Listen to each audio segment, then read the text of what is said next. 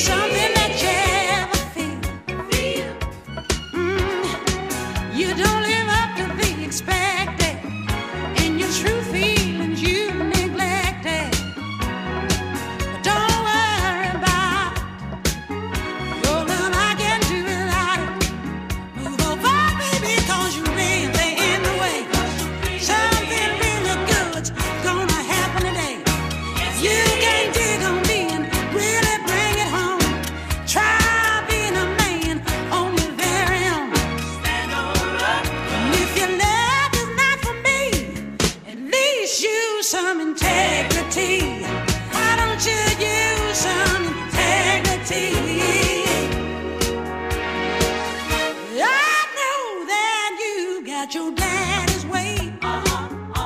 your daddy's name was yesterday.